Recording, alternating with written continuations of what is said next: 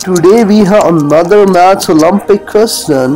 If you want to try it, pause the video and try it and write the answer and comment.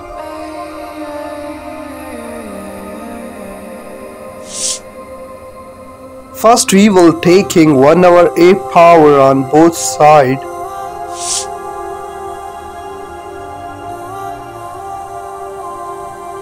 so that on the right side a and 1 over a will get cancelled so we will get now we will take in 1 over 32 power on both side.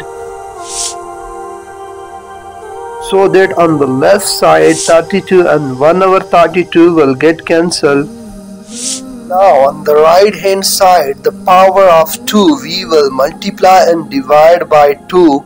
Numerator will become the power of 2 and denominator will multiply with denominator.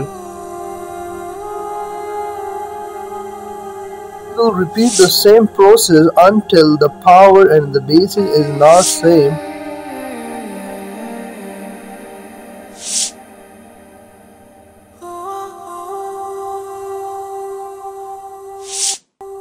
Now finally the base and the power is same.